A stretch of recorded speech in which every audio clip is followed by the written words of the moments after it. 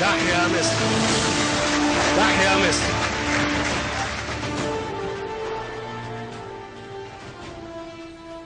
بسم الله الرحمن الرحيم أعزائي المشاهدين في كل مكان داخل مصر وخارجها لكم مني أجمل تحية من شاشة مصر الزراعية وحلقة جديدة من برنامجكم صوت الفلاح. الحقيقة في حلقة اليوم أنا سعيد جدا جدا. زي ما كل مزارعي القمح على مستوى الجمهورية في منتهى السعادة. طبعا لقرار الحكومة في العودة لسعر توريد أردب القمح كما كان في العام الماضي 420 جنيه وإلغاء قرارها الخاص بدعم هذا المحصول. لكن الحقيقة في بعض النقاط استوقفتني يعني خلال اليومين اللي فاتوا بعد صدور هذا القرار أنا حابب أن أنا أعرضها على حضراتكم. النقطة الأولى بعد عودة الحكومة في قرارها السابق آه، آه، تناولت وسائل الإعلام المختلفة. هذا القرار بشيء من الشماتة في الحكومة المصرية. وطلعت علينا الحقيقة بعض الصحف بمانشيتات كبيرة وضخمة قوي. يعني آه القمح أقوى من الحكومة يا رجالة. ده كلام. وبعدين كتيبة البرلمانيين تنجح في إفشال مخطط وزير التموين. هو إيه يا جماعة؟ هو إحنا في حرب. أنا طبعا كمواطن مصري استحالة أكون سعيد إن القمح أو أي فئة من فئات الشعب المصري تكون أقوى من الحكومة.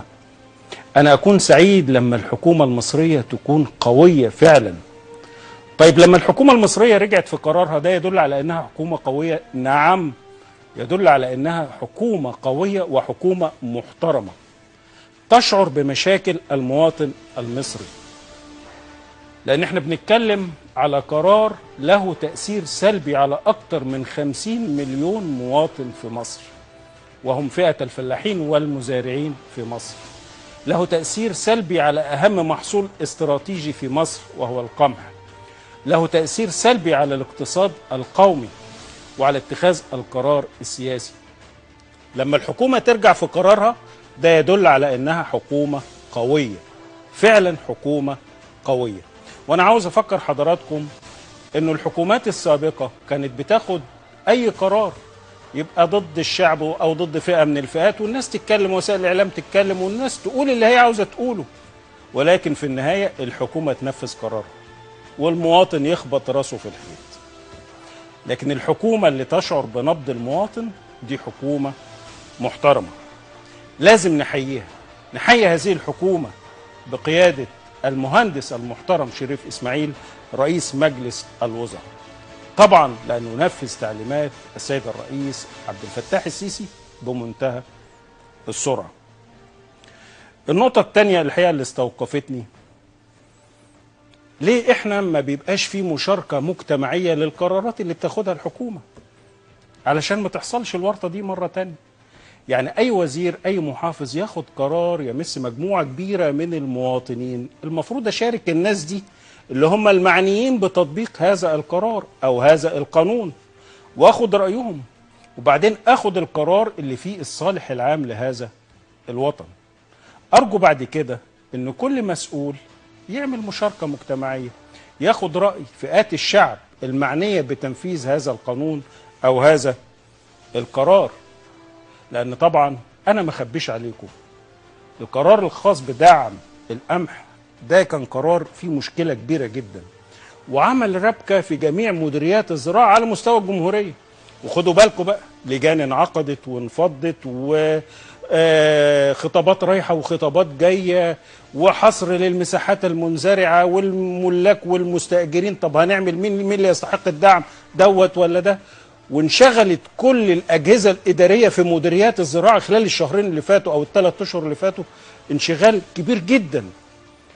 أعتقد ده يدخل تحت بند إهدار المال العام لأن لما اشغل أجهزة الدولة واضيع وقتها في قرارات خاطئة. وبعدين أرجع فيها طب ليه القرار ده خدناه من الأول؟ يبقى إحنا لو كنا عملنا مشاركة مجتمعية وخدنا رأي الناس وقعدنا مع الفلاحين والمستشارين وتأثير هذا القرار على الزراعة المصرية على محصول القمح على الاقتصاد القومي على القرار السياسي ما كانش القرار ده اتاخد. أنا عاوز الحقيقة طبعا حضراتكم عارفين القرار ده وزارة الزراعة ملهاش علاقة بيه خالص لكن المعني بهذا القرار وزارة التموين. لكن كنت أتمنى أن السيد وزير التموين يعني يتأنى شوية في اتخاذ هذا- القرار.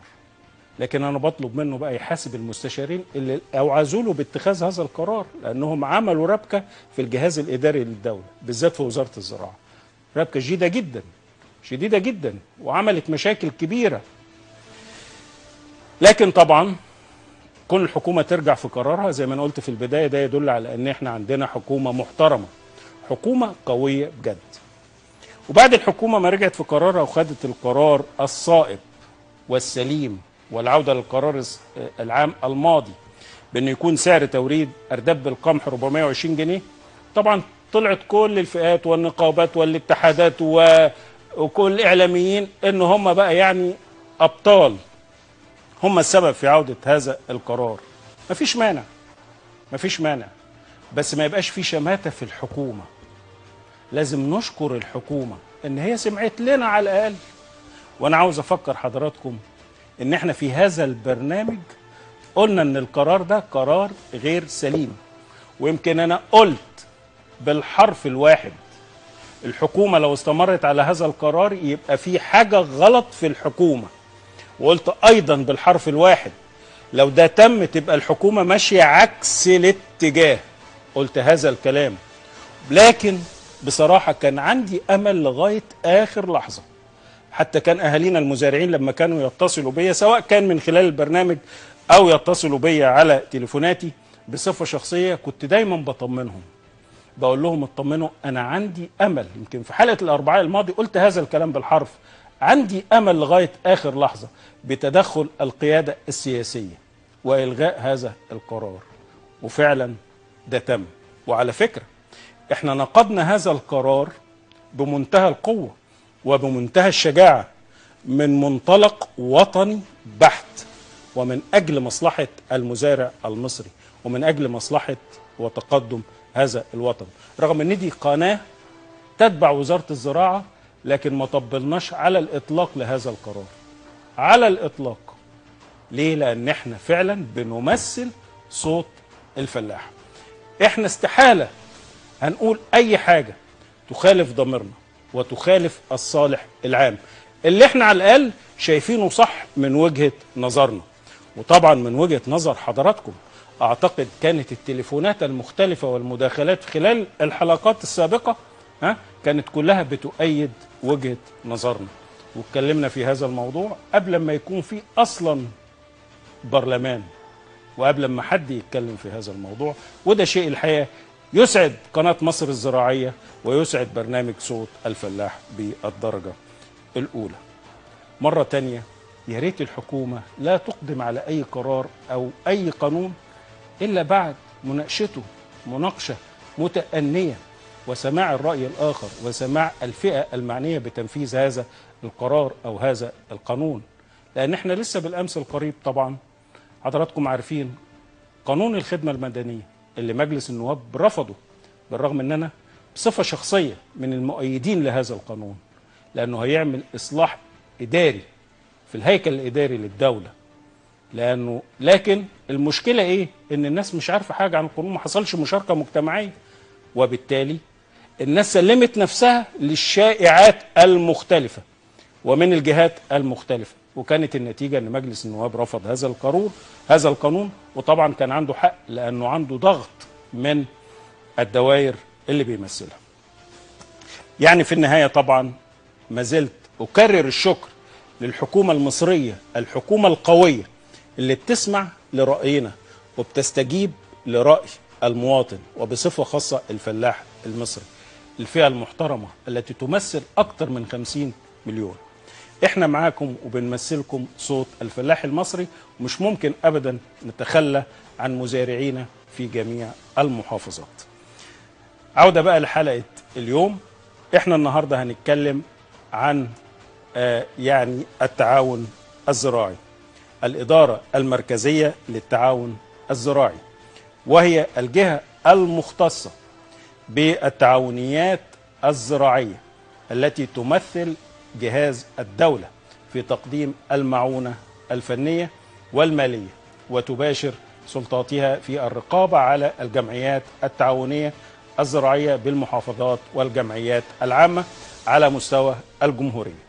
بجانب الإشراف على سير العمل بالقطاع التعاوني الزراعي وتباشر الإدارة المركزية للتعاون الزراعي مهامها ومسؤولياتها واختصاصاتها أيضا طبقا للقرار الوزاري رقم 1350 لسنة 1997 تنقسم الإدارة المركزية للتعاون الزراعي إلى أربع إدارات عامة وهي الإدارة العامة للتوجيه والتعاون والإدارة العامة للمتابعة المالية والتعاونية والإدارة العامة للتسويق وإدارة الشؤون المالية والإدارية بالإضافة إلى المكتب الفني النهاردة هيكون معانا المسؤول الأول عن الإدارة المركزية للتعاون الزراعي بوزارة الزراعة المهندس محمد عبد الله رئيس الإدارة المركزية للتعاون الزراعي عشان نفتح معاه هذا الملف ونشوف الخدمات اللي بتقدمها الإدارة للجمعيات الزراعية ولكن بعد هذا الفصل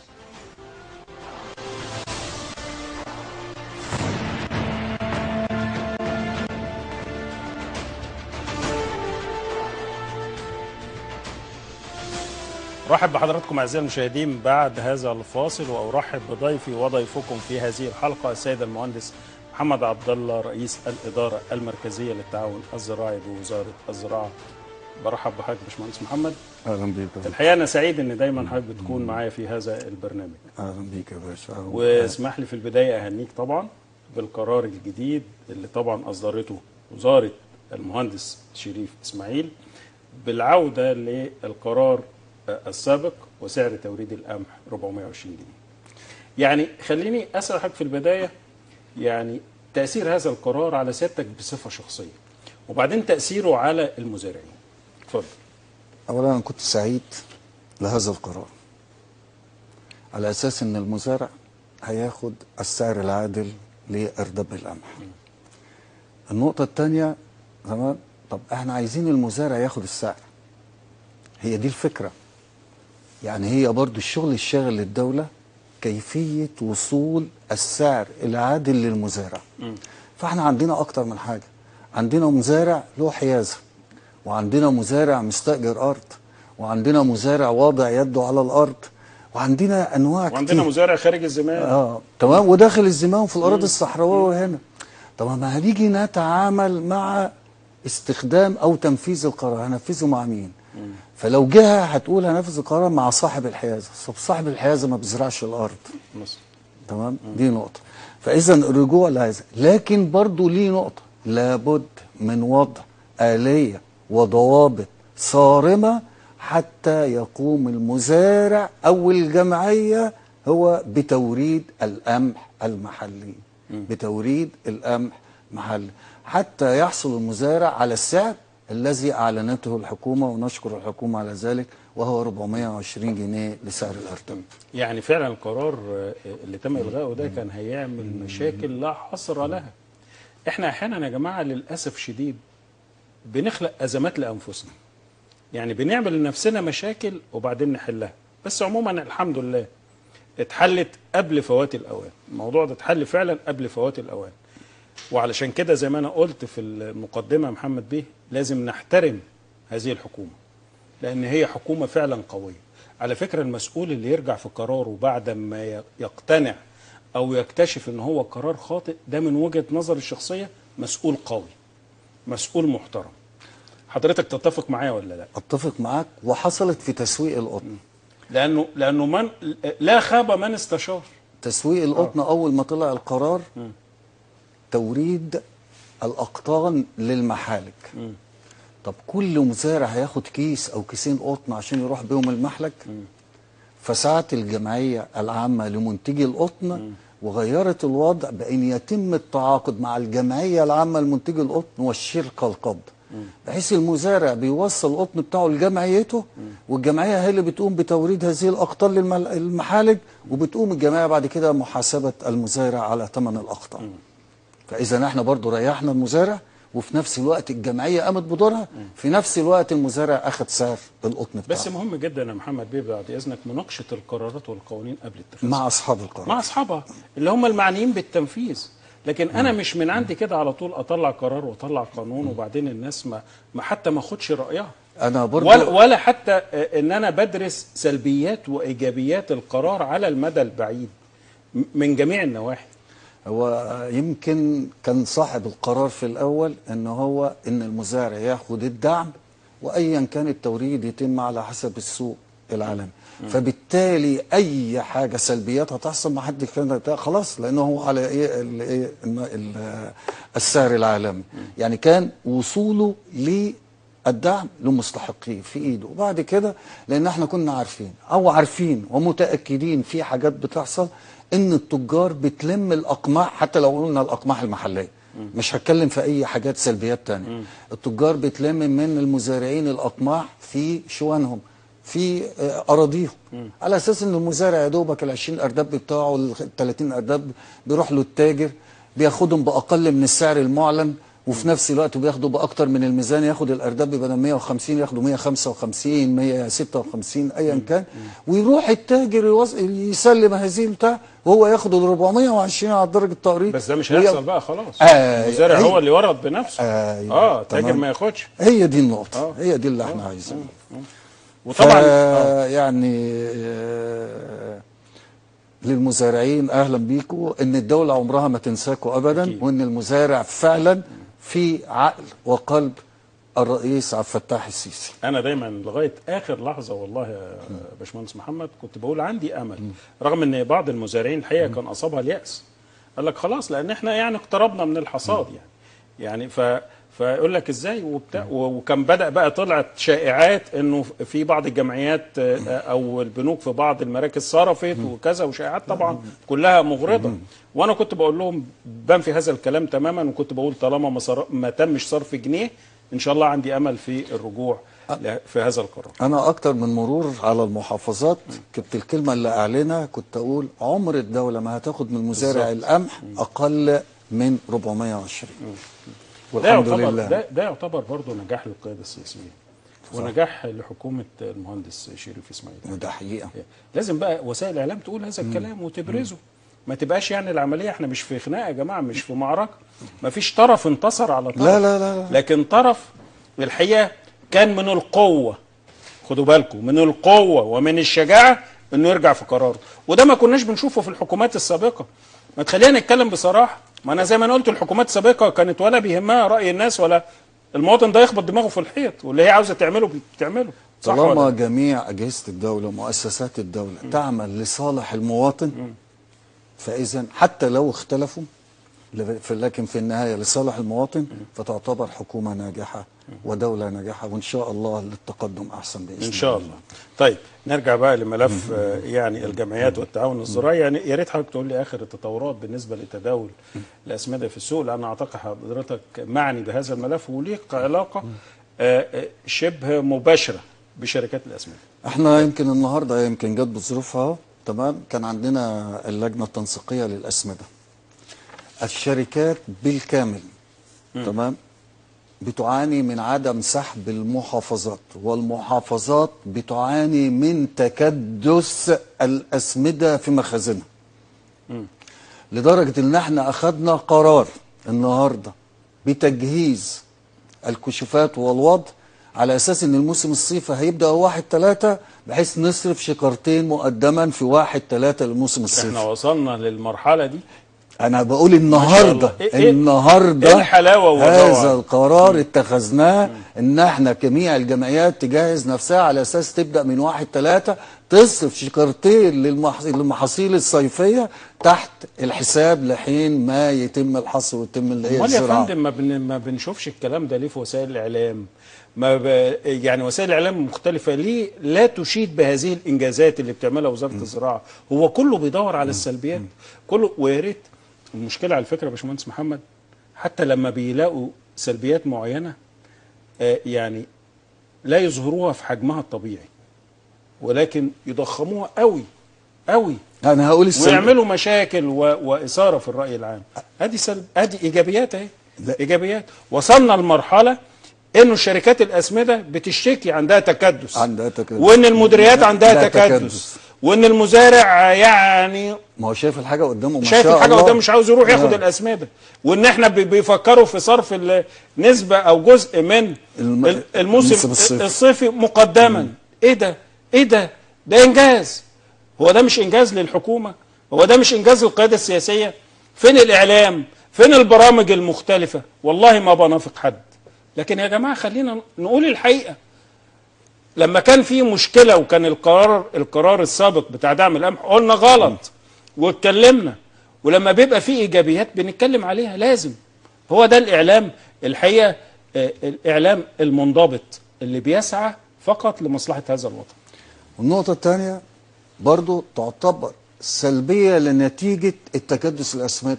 إن الجمعيات بتعاني من ارتفاع نسبة الفوائد على التأخير ما عندهاش تصرف. عاملة لها مشكلة طبعا. عاملة لها مديونية. طبعا. فبالتالي في فوائد عليها.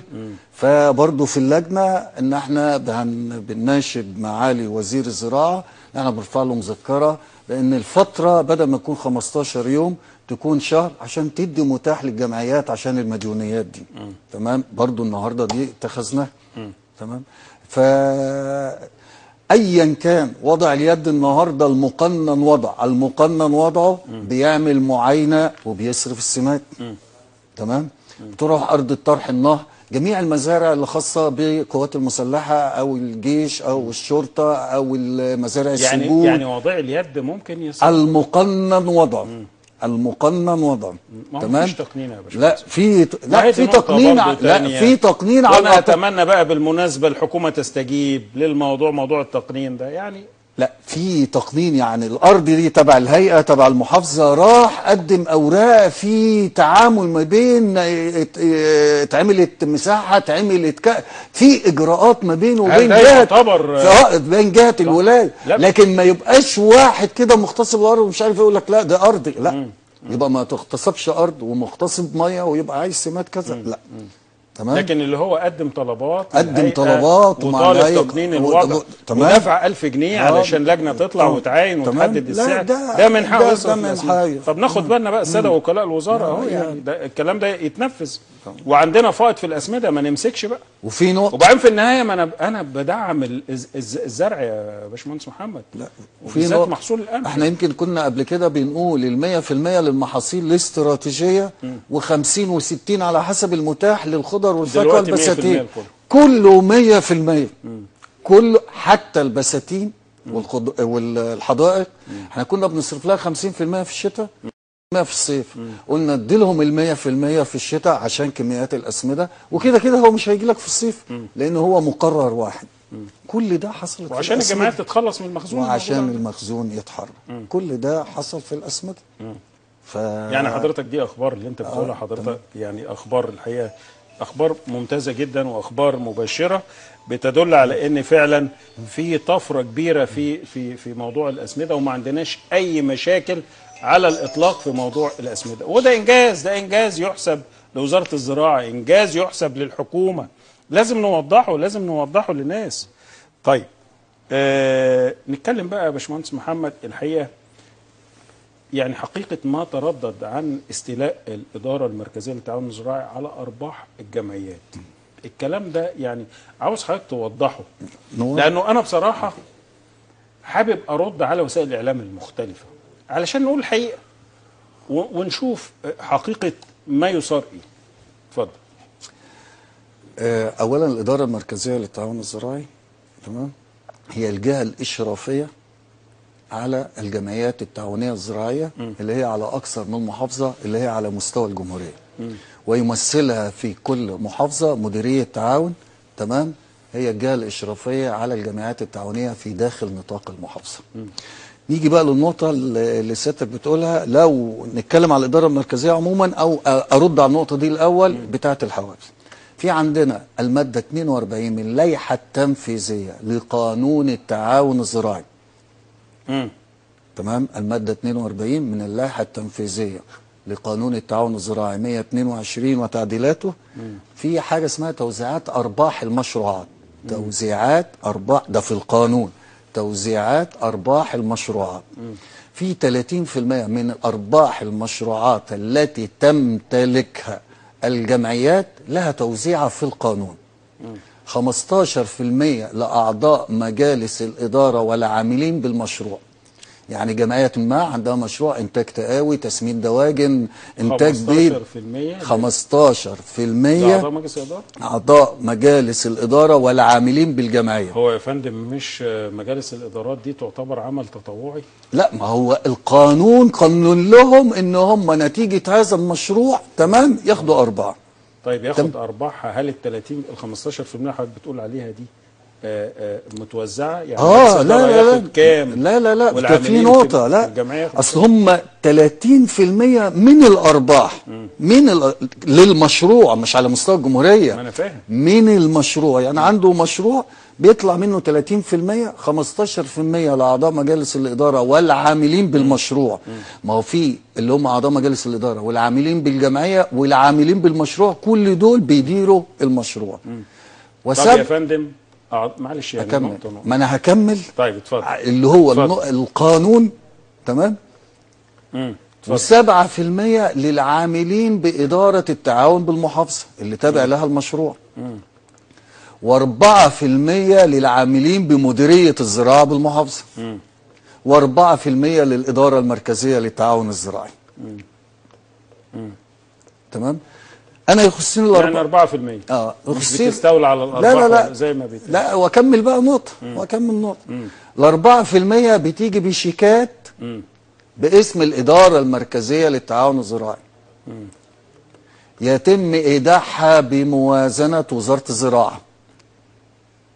بموازنة الوزارة. بموازنة وزارة الزراعة. لحساب أرباح الإدارة المركزية.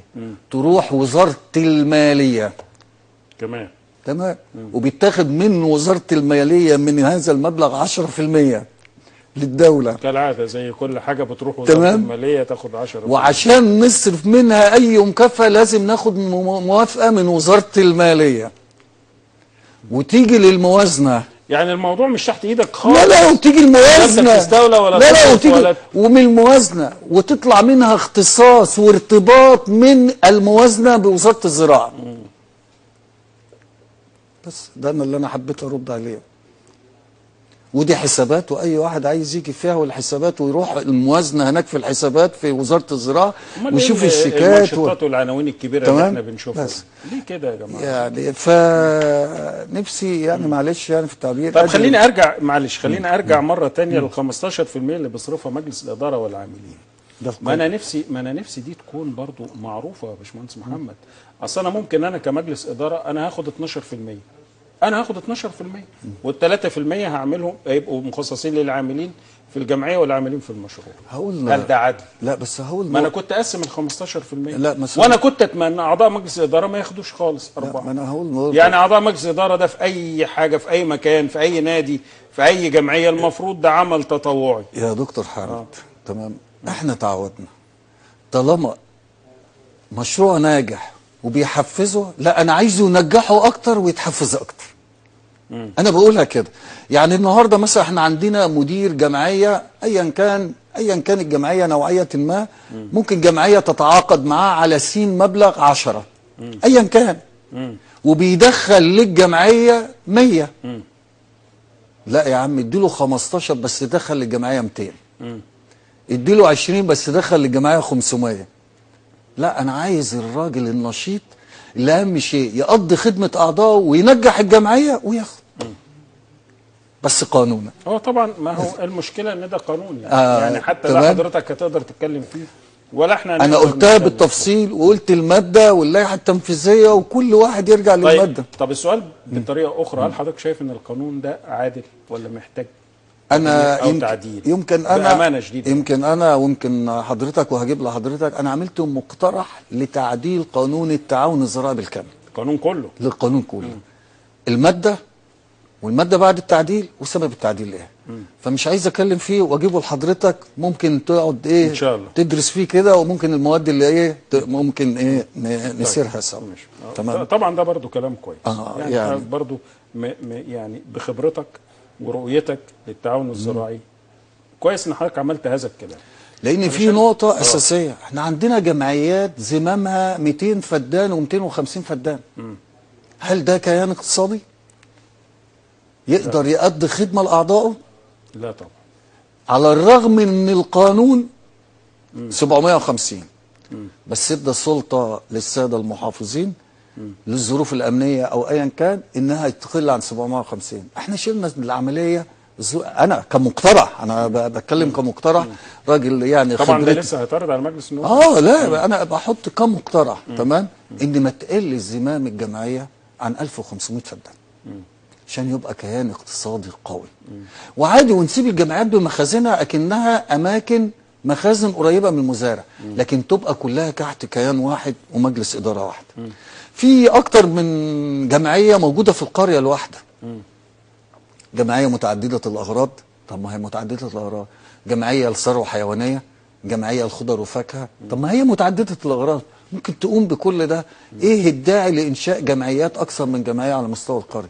برضه حطيناها في مقترح القانون إن دي يكون في عندنا بقى حاجات تانية نبقى إيه نيجي اما يجي وقتها إن شاء الله نتكلم يعني. اسمح لي من خلال كلام حضرتك واضح إنه الإدارة المركزية للتعاون الزراعي هي اللي بتستفيد من الجمعيات بدليل إن هي بتاخد 4% من الأرباح. لكن إيه الخدمات بقى اللي بتؤديها الإدارة المركزية للتعاون الزراعي للجمعيات؟ ما هو ده اللي إحنا عاوزين نعرفه. النقطة بقى الأساسية. أولا جميع النظم الداخلية وعقود التأسيس بتبقى من الإدارة المركزية. يعني أي واحد عايز يعدل النظام الداخلي بتاعه وعقد التأسيس بتاعه عن طريق الإدارة المركزية. وتملي مع كل تعديل. يعني يعمل إيه؟ تمام؟ بياخد من عندنا النموذج اللي بيتم عليه الوضع. وأي تعديلات في القانون إحنا بنعدل هذا النموذج بناء على التعديلات اللي أمال في الجمعية القانون العمومية يا فندم فايدتها إيه؟ تمام. بتقر لكن يعني أنا لو عاوز أغير آه، اللائحة الداخلية للجمعيه اللي أنا فيها ممكن أعمل جمعية عمومية؟ غير عليهم. هذا التغيير سليم. واخد موافقة خلاص. سليم. إيه دخل بقى الإدارة المركزية للتعاون ممكن يكون هذا التعديل تمام على غير القانون. آه يعترض مع قوانين التعاون. آه فمراجعتنا له عشان يقول له ينشر ونقول له أوكي ينشر وإلا تمام ما تعتبرش إيه. لأن إحنا برضو عايزين الجمعيات كلها على مستوى الجمهورية لكن اللي هم ال 5000 جمعية دول إن أي قرار يتخذه يكون طبقا للقانون. آه بس بس فاحنا المرجع تمام. لجميع الجمعيات على مستوى الجمهورية. بس ضروري يا باشمهندس محمد موافقة ال- الجمعية العمومية. ده هو ولا وافق. هو ممكن مجلس الإدارة هو وافق. يغير اللائحة بدون بس. هو ممكن أخذ مادة في التعديل لا توافق القانون واللائحة التنفيذية بتاعته. فلازم أقول له لا ستوب هنا تقف. طيب دي ما نقطة. تنفعش. دي نقطة. دي نقطة. آه. النقطة الثانية مرورنا على الجمعيات لمتابعتهم وإشرافهم والتوجيه ليهم. أنا للعلم أنا كنت في الإسماعيلية قبل كده كنت في سوهاج في البحيرة في المنيا. أنا بلف بقعد مع أعضاء مجالس إدارات الجمعيات لتوضيح القانون لتسويق آه، المحاصيل إزاي يتجمعوا مع بعض إزاي الجمعيه تقوم بتسويق محاصيلهم إزاي الجمعيات تقوم بتوفير مستلزمات الإنتاج لهم وإزاي يقوموا مجالس الإدارة بتوفير مستلزمات الإنتاج. من الجهات التي تنطبق عليها الشروط والضوابط اللي المفروض تخش تجيب منتجاتها ما هو مش الجمعية مش أي منتج لأي شركة يخش الجمعية. ليه مواصفات وليه شروط وليه انضباط معين عشان يخش الجمعية؟ طبعا. لدرجة إن إحنا عندنا بعض الجهات رفضنا إنها تجيب تقاوي إلا لما تخش مخازن الجمعية وتسجل في سجل 44 آه، آه، جمعية اللي هو سجل المخزن. يعني ممكن ايا كان مجالس الاستشارية ايا كان بتجيب منتج ولها الحق طالما هيتم توزيعها عن طريق الجمعيات التعاونية تخش في سجلات الجمعيات التعاونية الزراعية. عشان لما يجي مزارع يشتكي نبقى إحنا عارفين دي جايبها منين والجمعية جايبها منين وهل الجمعية لما وافقت على هذا الوضع شافت الشروط والمواصفات المفروض إيه تتوفر في هذا المنتج ولا لأ؟ ولا جابته كده عشان يكون وضع ما؟ كل ده من الاداره المركزيه وضروري كمان يكون هذا المنتج واخد تصريح من وزاره الزراعه ما هي من يعني جميع- للأسمدة لجنه المخصبات آه، ده- ما هو جميع الشروط. الاراضي التسجيل. للمبيدات لجنه مبيدات ده ال- كله مبيدات. كله ده اولا التسجيل يعني مرخص بيه من وزاره الزراعه كذا من الاراضي والمياه إيه له سجل مبيعات له حق البيع له حق الاتقاء كل ده وبتواريخه لازم تكون تواريخه إيه صالحه لنفس الوضع يكون عنده هذه المواصفات كلها وإلا ما يدخلش هذا المنتج. تمام؟ فكل ده الإدارة المركزية. تمام. الحقيقة ما هو ما هو الكلام ده كمان مهم يا باشمهندس محمد عشان يمنع الحقيقة أي تلاعب. يعني أنا مش كمجلس إدارة مش من حقي أجيب أي حاجة وأبيعها وأكسب آه، وأحط في جيبي لا. آه، لازم. يكون من خلال سجلات منضبطة عشان نبقى عارفين إيه اللي دخل واتباع إزاي وكده يعني. وعشان يبقى في سيطرة على ما عشان كده إحنا كل- على بنقول هذه المنتجات. بنقول التنمية الزراعية المستدامة. أمال الجامعات يا فندم اللي هي معلش اللي بيجيب بطاطين وبوتاجازات والكلام ده يعني, يعني هل ده, ده صح؟ لا زي زي اللي هو عنده رأس مال وحطه وديعة. ده يمكن مثلا ها وبيشتغل في منتج. لا، ده- لا ده- ما أنا هك... هك... طيب، هكمل. بس يا دكتور حمد تمام؟ واحد عنده رأس مال حطه وديعة ومريح دماغه ده ما يعتبرش يعني. خالص يعني تمام؟ واحد تاني يقول لك طب أنا اشتغله في كذا. أنا ما عنديش مانع. أنا بقولها أهو بس شرط. هل أنت استوفيت جميع اختصاصات الجمعية؟ وبالتالي لأن أنا هقول لحضرتك نماذج دلوقتي موجوده وبالتالي بتشوف خدمة تانية تقضيها للجمعية. لأن أنا عندي الجمعية عبارة عن وحده اقتصادية اجتماعية. وحدة اقتصادية اجتماعية ده القانون اللي قال كده. تهدف لا دي ل- محتاجة توضيح دي. آه. تمام؟ آه.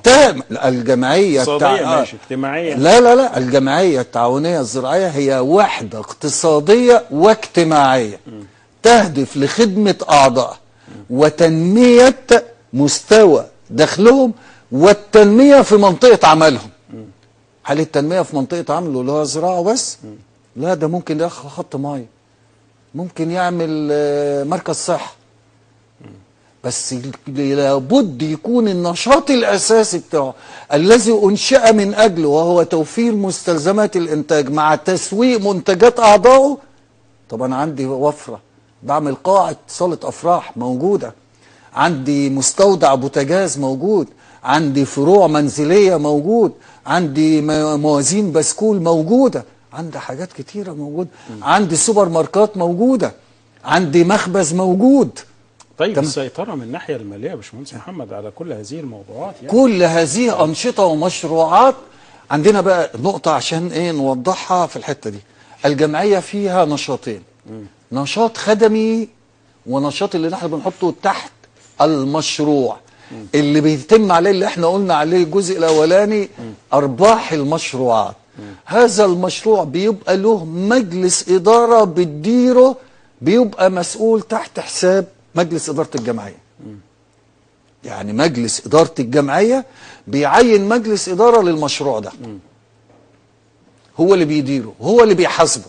يعني مجلس إدارة الجمعية بيحاسب مجلس الإدارة اللي بيديره أما نشاط الجمعية كنشاط خدمي جابت مستلزمات إنتاج تقاوي معينة مبيدات طيب معينة. نستكمل هذه النقطة يا محمد بيه بعد إذنك لكن أعزائي المشاهدين بعد هذا الفاصل فانتظروا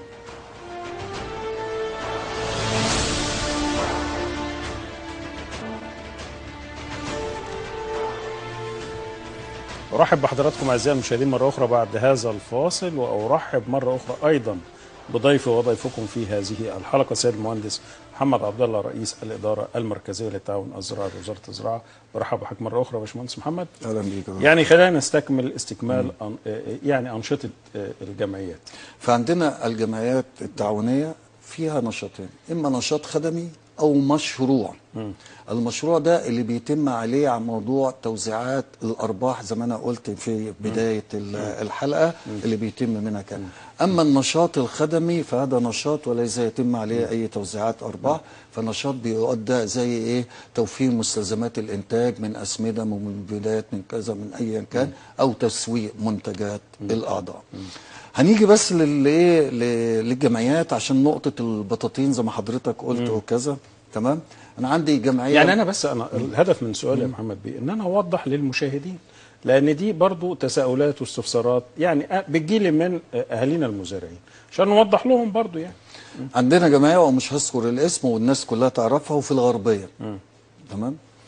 عنده وحدتين إنتاج تقاوي. عنده معصرة زيوت.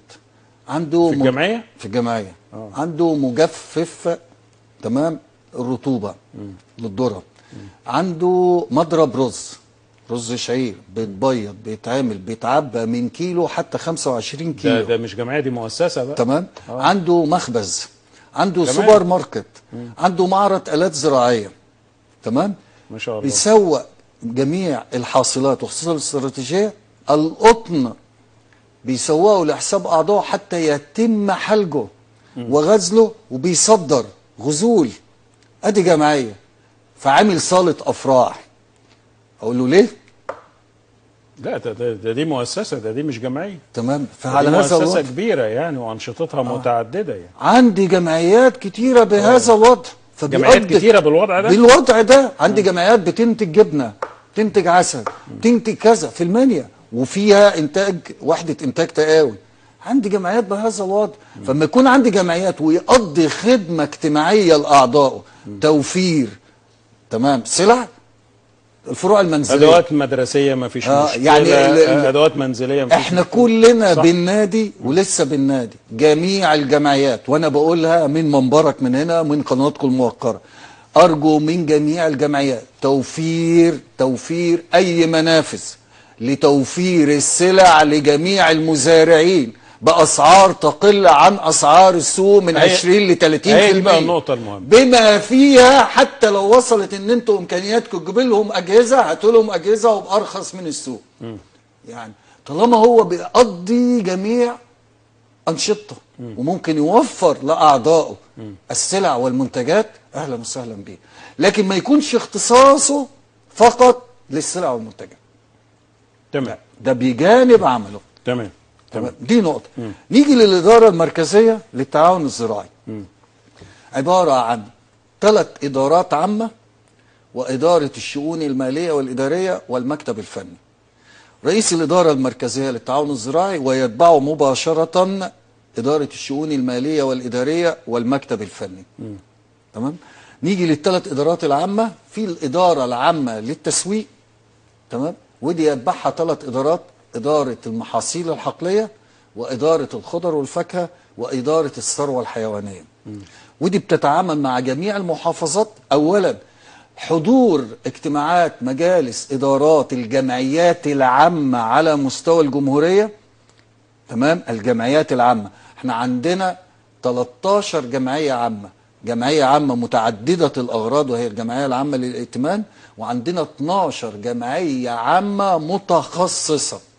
الجمعية العامة لمنتجي القصب الجمعية العامة لمنتجي بنجر السكر والجمعية العامة لمنتجي القطن والجمعية العامة لمنتجي المحاصيل الزيتية والجمعية العامة للبصل والثوم والجمعية العامة للثروة الحيوانية والجمعية العامة لمنتجي البطاطس والجمعية العامة للخضر والفاكهة والجمعية العامة المتحدة للمحاصيل البستانية مش عارف إذا كنت نسيت. المهم إيه؟ 13 جمعية. 12 متخصصة والجمعية العامة للكتان. 12 متخصصة واحدة جمعية عامة. اولا جميع الإدارات. إدارات الإدارة العامة للمتابعة المالية والتعاونية والإدارة العامة للتسويق. بيحضروا اجتماعات محاضر مجالس إدارات الجمعيات. ودي بتبقى كل شهر. زائد إن الإدارة العامة للمتابعه المالية والتعاونية بتتابع أنشطة هذه الجمعيات من الناحيه القانونية والمالية. تمام. تمام؟ وهذه الجمعيات بيتم مراجعتها من الجهاز المركزي للمحاسبات. أسأل بقى على الجهاز المركزي هذه الجمعيات بتتم مراجعتها من الجهاز المحاسبي للإيه؟ الجهاز المركزي الجهاز المركزي للمحاسبات. وفي تنسيق ما بيننا وأي ملاحظات بيبعتها لي السيد وكيل وزارة الجهاز المركزي للمحاسبات بيبعتها لي بيتم مخاطبة الجمعية لتعديل وتلافي هذه الملاحظات وإلا بيتم إهدار الجمعية العمومية لاعتماد الميزانية. يعني في يعني ميزانية لا، كل سنة يا باشمهندس محمد كل و- سنة وحساب ميزانية و- وبيحضرها الجهاز المركزي وإن لم يتم تلافي وتطبيق وتعديلات كل ملاحظات الجهاز المركزي والجهة الإدارية الإدارة المركزية لم يتم اعتماد أي ميزانية لأي جمعية. طب موقف مجلس إدارة إيه بقى في الحالة دي؟ يعتمد. مم. لازم. لأن لابد حتى بعد الجمعية العمومية وتروح له هذه لنا اعتراض على كذا واعتراض على كذا والاعتراض على كذا طبقا للجهة الإدارية وطبقا للجهاز المركزي إن ما تمش تعديل يتم إهدار الميزانية ولا يتم اعتمادها. يتم التعديل يتم اعتماد الميزانية. فلن يتم اعتماد ميزانية لأي جمعية عامة إلا بعد ما تكون مستوفية وتم مراجعتها من الجهاز المركزي والجهة الإدارية. تمام تمام يعني اذا في ضوابط صارمة على الجمعيات وعلى مجالس الإدارات. إن يعني أعتقد بالصورة اللي حضرتك بتقولها دي التلاعب صعب. بلغ سيادتك إن شاء الله إحنا عندنا الوقت الجمعيات العمومية بدأت إنها تبدأ يعني وإقرار والجهاز المركزي موجود. إن شاء الله أبعت لسيادتك جدول بمواعيد انعقاد الجمعيات العمومية للجمعيات العامة. وهنا بتعقد في آه، نادي الزراعيين هنا في القاعه بتاعت ونشوف تمام على الواقع. وتروح تمام. الكاميرا بتاعت آه، حضراتكم وتحضر وتشوف المناقشات وتشوف الجهاز المركزي بيعمل إيه والجهة الإدارية بتعمل إيه وتحضروا هذا الوضع وتصوروا هذا الوضع إن شاء الله ما عندناش شاء ما الله. عندناش أي مانع إن شاء الله. بإذن الله آه طيب يعني الأنشطة الأخرى بقى خلاف آه يعني اللي حضرتك ذكرته هل في أنشطة شايف إن هي يعني الجمعيات فعلا أو بعض الجمعيات مميزة فيها. آه أو إيه المشاكل اللي حضرتك شايف إن هي موجودة في بعض الجمعيات ولازم يتم تلافيها؟ اولا اللي أنا بناشده لجميع المزارعين أعضاء الجمعيات العموميه أختيار في الانتخابات. ده دي بقى لسه ما ه... أنا- دي لسه هنتطرق ليها لأن دي أنا- نقطة مهمة أنا جدا يا باشمهندس. محمد. أنا أقول لحضرتك أهو إحنا جاي لنا الدوره 16 21 وهتبدأ الانتخابات. وإحنا بدأنا نعد اللي إيه ونشوف برضو بنستطلع آراء وملاحظات عشان الناس يعرفوا إن أنا قبل ما بنطلع قرار وزاري بالانتخابات بعتنا منشور دوري لجميع الملاح المحافظات. آرائكم وملاحظاتكم. حتى يتم استصدار قرار الوزاري بالانتخابات الدورة 16 21 فأرجو أرجو من السادة إخواني المزارعين اختيار وانتخاب أعضاء مجالس إدارة قوية تقدر أو تقوم على خدمتهم ونشاطهم. يمكن أنا ما بنزل في أي حتة وكنت ده توجهي لجميع أعضاء مجالس الإدارات الجمعيات ويمكن النقطة الأساسية اللي هم بيتكلموا فيها ويمكن تسويق المنتجات. دي نقطة مهمة آه جدا. النهارده عندنا 27 محافظة. سليم. على الأقل في جميع المحافظات فيها جامعة. فيها مدينة جامعية. فيها مستشفيات. طبعا. فيها فنادق. تمام؟ إيه دور الجمعيات في توريد المنتجات الزراعية لهذه الأماكن؟ فين؟ المتعهد اللي هو بيورد للمدينة الجامعية أو للفنادق أو للمستشفيات ما هو بيجي ياخد من المزارعين. ليه؟ فين دور مجلس الإدارة إنه يقوم بهذا الوضع؟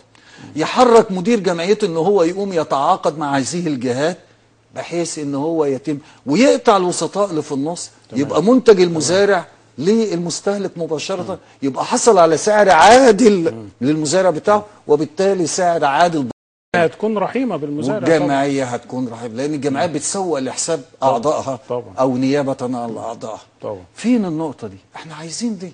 قبل ما نفكر أقول أنا هطلع بره طب ما أنا أسوق دي. مين مين بيقوم بهذا الوضع؟ نفسنا. نتلاقي مجالس الإدارة اللي يقوموا بهذا الوضع. مثال وهقوله ما حدش يزعل مني وأنا أشجعه. الحاج محمود الشاذلي رئيس مجلس إدارة الجمعية التعاونية الزراعية المركزية بالوادي الجديد. هو اللي بيسوق البلح للوادي الجديد. أنا رحت الوادي الجديد. شفت مصنعين البلح اللي موجودين واحد في الخارجة واحد في الداخلة. ما شاء الله. تشغيل عمالة هناك. تمام؟ جميع أنواع البلح بجميع أصنافه. إحنا بنشوف هنا علبة البلح اللي مكتوب عليها الجمعية التعاونية الزراعية المركزية بالوادي الجديد. لكن رحنا هناك شفنا ده تعمل إزاي؟ بيسوقوا للقوات المسلحة بيسوقوا للجمعيات الاستهلاكية بيسوقوا لجميع المعارض بيسوقوا للخارج. فإحنا عايزين نفس يعني. بيصدر كمان. بيصدر تمام؟ عايزين هذا الوضع. هي دي النقطة تمام؟ النماذج دي على فكرة يا باشمهندس محمد عاوزين نبرزها برضه. ما هي دي؟ الاساس نبرزها وعاوزين ننزل ونصور معلش آه. معلش يا دكتور ما ندورش على السلبيات بس يا جماعة. إيجابيات أهي. جمعيات ز- تعاونية ناجحة. ناجحة فعلا وبتأدي خدمات. يعني باشمهندس محمد بيتكلم على جمعية في الغربية حضرتك قلت. دي مؤسسة. دي عندها ده عندها كل حاجة. في الغربية تاني. آه. الجمعية المركزية تمام بالغربية. عندها خمس عنابر. إنتاج بيض مائدة. بتنتج 21 مليون بيضة في السنة. ودي متعددة الأغراض بتاعه أسمدة ومبيدات وإيه تقاوي. عندها خمس عنابر تمام لإنتاج بيض المائدة بتنتج 21 مليون بيضة مائدة في السنة. طب العاملين في تمام. هذه الجامعات يا باشمهندس أو في هذه المشاريع فعلا بياخدوا مرتبات مجزية؟ لأن حضرتك بتكلمني على مشاريع تعتبر مشاريع بياخدوا يعني. مرتبات مجزية ولدرجة نسبه السبعة في المية اللي هي خاصة لأن هم تبع القطاع ال- القانون آه، 12 تمام؟ وبيجي لهم كل سنة كذا فإحنا طبعا عشان بنعمله وبنعرضه وبيطلع القرار خليناهم ينفذوا لغاية ما القرار. المهم أنا عايز البني آدم يشتغل يبقى حافز فبالتالي ينتج ويشتغل. هي دي النقطة يعني. مرتباتهم مجزية. حلوة كويسة. آه، ممتازه وراضيين بيها ومفيش أي في مشاكل. في أي مشكلة؟ ويوم ما تيجي أنا على تم استعداد يوم ما تيجي أي مشكلة عادي يمكن إيه يبعت لسيادتك وتخاطبني وأنا أشوفها وأحلها لك. طيب ده ده كلام الحقيقة. يعني أول مرة مسؤول ألاقي يعني يتكلم ويقول إن العاملين على حساب جاري الجمعيات في- مرتاحين. يعني في المشاريع في أكتر. المشاريع، آه. آه يعني آه. المشاريع الإنتاجية اللي ما هي لها المشاريع آه عليهم؟ آه المشاريع الإنتاجية. والدخل وبتاع فدي إيه تمام بتبقى لكن نسبة. للأسف الشديد الوضع في الإصلاح الزراعي مختلف. يعني العاملين على حساب جاري الجمعيات إصلاح عندهم مشاكل. لكن طبعا أنا بحيي حضرتك إن فعلا ما جاتلناش فعلا شكاوي منهم يعني. لا وأنا على آه. اتم لو في أي شكوى تجيلي وأنا أبحثها وأشوفها. مع الجمعية ومع المحافظة. طب خليني بقى انتقل لنقطة تانية يا باشمهندس محمد. يعني الجمعية حضرتك شايف إن مجلس إدارتها لا يصلح. عامل مشاكل.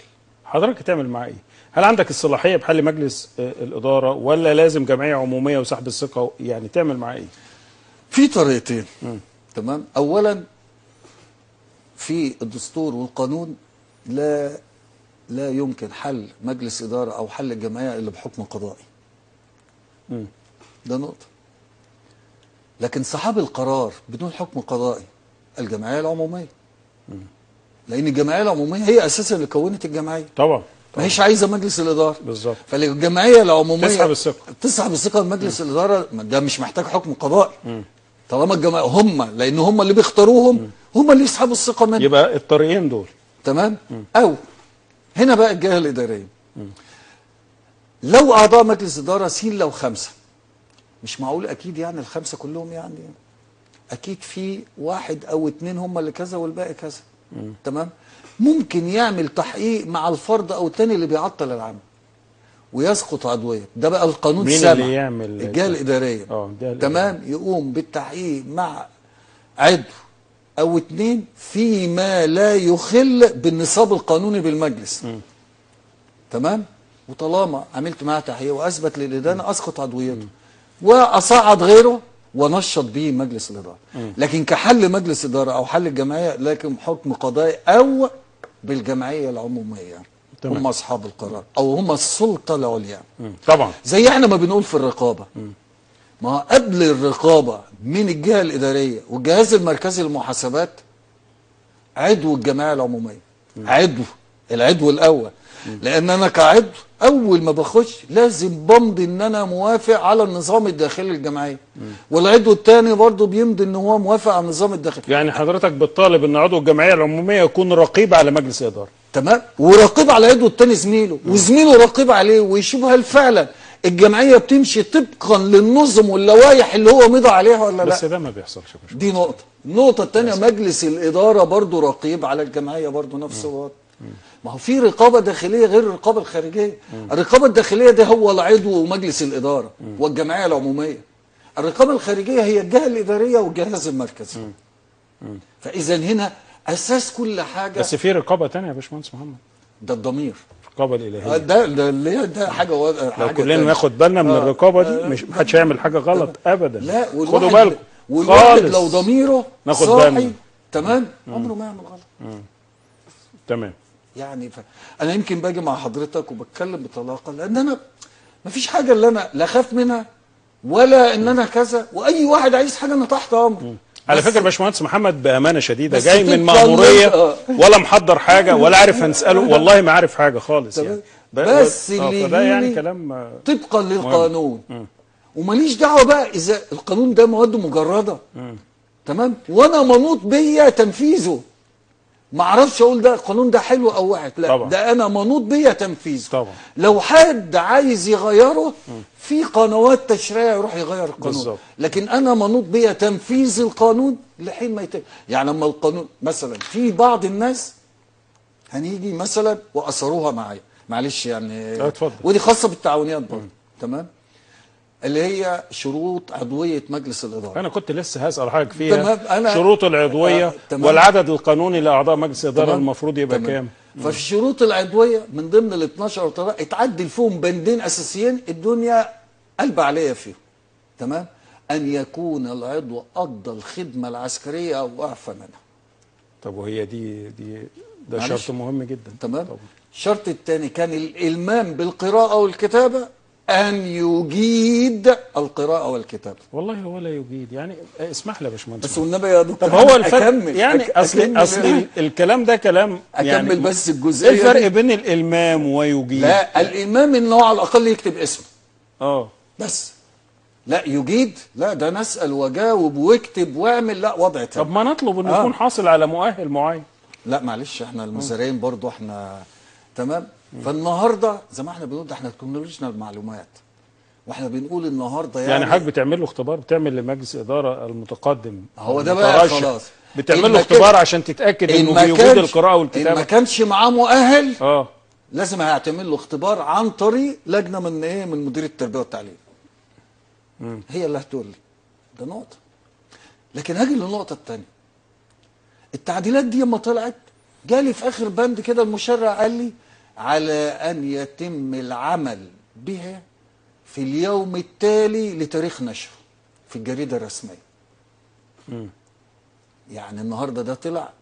النهارده يتنفذ بكرة. يتنفذ بكرة. طب طلع. كله هاج. طب أنا انتخبت على دورة قبل كده بشروط. الوقت بتاع أنا مالي؟ ده قانون. قانون وبيقول لي لابد من تنفيذه في اليوم التالي. وعندي مادة في القانون. يعني حتى على مجالس الإدارات اللي قائمة. الموجودة. اللي موجودة. ليه؟ لأن في مادة في القانون المادة 50 بتقول تسقط عضوية مجلس الإدارة من فقد شرط من من شروط العضوية. شروط العضوية ما حددهاش بقى. طب أنت فقدتها الوقت. خلاص تسقط. فقدتها الشهر اللي فات تسقط. فقدتها في ك... لأنها ما- قالش تسقط من فقد بعد انتهاء الدورة. قال تسقط تسقط من فقد. خلاص انت كده فقدت شرط. محمد عبد الله فقد شرط دلوقتي من شروط العضويه خلاص فقدتها. يبقى بتسقط عضويتي ده القانون. ان أنا ما أقدرش يعني تسقط عضوية عضو مجلس الإدارة ويتم انتخاب عضو تاني؟ آه لو ولا ولا بيتم حل المجلس لو أكتر هنقول. لو لو عدد هنكمل. كبير ولا إيه يعني؟ هنكمل. لو كان المجلس ده تم انتخابه بالانتخابات ما هو في إيه بتاع هم يا دوبك اللي اللي قدموا فازوا بالتزكية ما فيش حد آه، مرشح ضدهم وده غالبا والنسبة ده غالبا بيحصل. والنسبة الأكبر خلينا نتكلم أنا- بصراحة. والنسبة أنا- أنا الأكبر. بوحي حضرتك. وعشان كده أنا بقول نفسي في هذه الدورة القادمة أن تكون نسبة الانتخابات تفوق ال 80% انتخابات حقيقية بقى إيه المانع؟ آه آه، فإذا كانت تمت بالانتخابات يتم تصعيد الأعلى صوتا بعد. تمام؟ إن ما كانش بقى بالتزكية يتم انتخاب من العضو تمام عن طريق الانتخاب. هي دي النقطة. لكن لو كان هذا المجلس تم بالانتخاب وفي أفراد ياخدوا أعلى يبقى الأعلى صوتا بعد. الأعلى آه، صوتا تمام. في مجلس إدارة قلت أنا عندي النصاب القانوني. مش هصعد ولا هنتخب وعندي النصاب القانوني لغاية ما أكمل وخلاص. النصاب القانوني كام؟ ما هو على حسب العدد. طب ما لو هو خمسة عنده النصاب القانوني أربعة وثلاثة زي الجمعية المحلية لو هو خمس أفراد طب أربعة نصاب قانوني. طب ياخد الصوت إزاي؟ ده هم أربعة. الجانب اللي فيه الرئيس يبقى آه هو اللي يجنب إيه ياخد ال- إيه. تمام؟ هي دي النقطة. لكن طب أقصى عدد لأعضاء مجلس الإدارة. 29 29 الجمعية العامة. الجمعيه العامة. 29. لكن الجمعيات ال- لا لا لا ده خمسة وفي تسعة وفي 15 يعني على حسب ما لكن يع- يعني بتبقى لها علاقة بالمساحة الحد ولا؟ الأدنى لا الحد الأدنى خمسة. الحد الأدنى. ده المفروض يبقى 11 تمام؟ في مجلس تاني أنا نفسي ينزل أقل من النص بس أنا ما تطرقش أنا ماليش دعوة لأنه مش اختصاصي. طيب. آه، آه، متى يتم تعيين مجلس إدارة؟ هل دي موجودة في القانون؟ بيتم تعيين مجلس الإدارة مؤقت مؤقت بمعرفة الاتحاد التعاوني في حالتين. حالة إذا حل مجلس الإدارة إذا حل مجلس الإدارة. يعني مجلس الإدارة طلع له قرار بالحل. ومتى يتم حل مجلس اداره تمام؟ ما هي لها أكتر من حاجة. تمام؟ هنتكلم فيها. ما هي الحل ده إحنا قلنا لا بحكم قضائي. تمام؟ إحنا أو بسحب خلاص. الثقة. أو بسحب الثقة. تمام؟ أو أسقطت عضويه عضو أو أكثر بما يخل بالنصاب القانوني للمجلس. بما يخل بالنصاب. يعني مثلا خمسة تم إسقاط العضوية من ثلاثة مثلا. خلاص بقى اثنين آه. في الحالة دي خلاص أوكي ي- يتم تشكيل مجلس إدارة مؤقت. بشرط. مين اللي بيعينه؟ الإدارة المركزية؟ مش حضرتك الإدارة المركزية. ولا المحافظ؟ ولا؟ المفروض الجهة الإدارية ما أنا أقول لحضرتك. لا اللي بيتم التعيين من عن طريق الاتحاد التعاون الزراعي. تمام؟ بيتكلم من الجهة الإدارية بتعيين بعض الأفراد وإرسالها للاتحاد التعاوني تختار منه مجلس الإدارة. ليه؟ لأن الجهة الإدارية هي اللي بتعرف تمام من تتوافر فيه شروط العضويه ليه؟ لأن مجلس الإدارة طبقا للمادة 53 اللي بيقوم بتعيينها بتعيينه مجلس الإدارة المؤقت على أن تتوافر فيه شروط عضويه مجلس الإدارة. يعني أنا مش عشان إن أنا أعين مجلس إدارة مؤقت إن أي حد لا. لازم الشخص اللي أنا هختاره تتوافر فيه، فيه. شروط العضويه اللي هي موجودة في المادة 46 تمام. بس هو كل ما في الأمر إن هو جابه بالتعيين كمجلس إدارة مؤقت. لكن لابد تتوافر فيه شروط العضويه في المادة 46 تمام. طيب في بعض الإدارات يا باشمهندس محمد زي الإدارة العامة للتوجيه والتعاون. دي دورها إيه؟ الإدارة العامة للتوجيه والتعاون ده المنوط بها أساسا هي عملية أعمال النظم الداخلية. عقود التأسيس هي اللي بتراجع جميع النظم الداخلية للجمعيات أو اللوائح أو عقود التأسيس قبل النشر في الجريدة الرسمية. عشان لو نشر وحصل غلط بيضطر يعمل استدراك بالفلوس. الجمعية في أول نشر في أول مرة بدون رسوم. لكن افرض نشر غلط يعمل استدراك وعشان يعمل استدراك فبيعملوا بالإيه؟ بال- تمام؟ فعشان كده بيرجعوا للإدارة المركزية لمراجعة جميع الجمعيات العموميه الغير عادية اللي بيتم فيها تعديل النظم الداخلية تمام؟ بيتم مراجعتها عن طريق الإدارة العامة للتوجيه والتعاون. ده حاجة. الحاجة الثانية فيها التسجيل. جميع الجمعيات على مستوى الجمهورية. جمعيات محلية نوعية مشتركة مركزية مسجلة في سجل بالإدارة المركزية للتعاون الزراعي برقمها ولو ورقم الإشهار ورقم التسجيل ورقم النشر في الجريدة الرسمية ولو في تعديل في النظام الداخلي تعدل إمتى وحصل إمتى وموجود في الإدارة المركزية. الإدارة المركزية للتدريب إدارة التدريب موجودة تبع ال- اللهم صل على النبي. إدارة التدريب تبع الإدارة العامة للتوجيه والتعاون. وهي اللي بتقوم بإرسال البرامج التي لابد من قيام المديريات بتدريب الأعضاء عليها. لأن إحنا بمرورنا على الجمعيات وعلى الإدارات فبنشوف ومن السؤال بنعرف أعضاء مجالس الإدارة محتاجين التدريب في إيه الجمعيات بنمر عليهم إيه السجلات اللي ناقصة؟ إيه مدير الجمعيه محتاج إيه؟ كاتب أمين الخزنة. كل الحاجات دي بيتم مدهم بهذا الوضع على أساس يتم. أنا ما بينه وبين الإدارة المركزية للتدريب بروتوكول وبعت لهم جميع الموضوعات اللي يتم نشرها في البرنامج على مستوى الإدارة المركزية للتدريب بحيث لو يتم تدريب العاملين بالتعاون الزراعي إيه الموضوعات اللي المفروض يتم التدريب عليها اللي يفيدهم في شغلهم. تمام؟ في عملية لأن إحنا متابعة توجيه اشراف الرقابة في الآخر. أنا واحد للعلم من الناس ما ببصش في الرقابة الا في اخر حاجة. لأن أنا طالما اشرفت ووجهت هتبقى وتابعت- متأكد، تمام. وتابعت يبقى لا في الرقابة يبقى كذا. لكن أنا ما وجهتش وما اشرفتش وما تابعتش تنفيذه ونفذ صح ولا لا طب احاسبه إزاي؟ ما كل الكلام اللي حضرتك بتقوله ده يا باشمهندس محمد محتاج خبرة عند أعضاء مجالس الإدارة. هل هم بيم- بيملكوا هذه الخبرة ولا المفروض آه، يعني آه، بيجتازوا دورات معينة عشان يوصلوا للمرحلة دي؟ إحنا يمكن برضه أنا قلتها في مقترح القانون سيادة بقى ما تقراه. لابد من العضو عشان يتعين أو يرشح نفسه في عضويه مجلس لابد يكون اجتاز دورتين في التعاون. هو ده هو ده الكلام. أنا حاططها في المقترح. ده كلام جميل. تمام؟ يعني ففي حاجات الواحد ما هي من نتيجة الخبرة أنا بقالي 35 سنة في التعاون الزراعي. تمام؟ فالواحد بيشوف كل حاجة بما يفيد ويفيد المزارع وبالتالي الجمعية. هي دي النقطة الأساسية. لصالحهم. أنا لا آه، ليا وضع معين ولا أنا عايز حاجة معينة لا أنا من خبرتي قلت الحاجات دي. لو ربنا سهل إن شاء الله وتم الأخذ بها والمشرع خدها هتفيد المزارع وتفيد الجمعية اصل موضوع الدورات. الدورات ده, ده على فكرة ده موضوع مهم جدا علشان أعضاء مجلس الإدارة يكتسبوا الخبرة لأن أصل أنا شايف من كل- من خلال كلام حضرتك إنه مجلس الإدارة ده ده يعني المفروض مسؤول عن مؤسسة يعني مستلزمات إنتاج وتسويق محاصيل وتوفير كل السلع التي يحتاجها المزارع?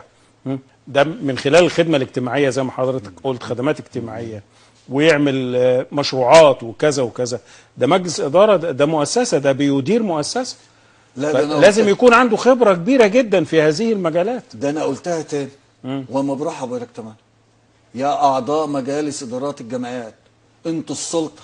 الجهة الإدارية ما إلا هي جهة إشراف ومتابعة وتوجيه. وتوجيه لكم. تمام.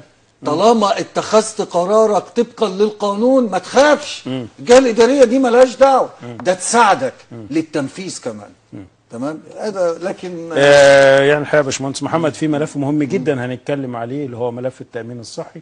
ودوركم في هذا الملف لكن أعزائي المشاهدين بعد هذا الفاصل فانتظرونا.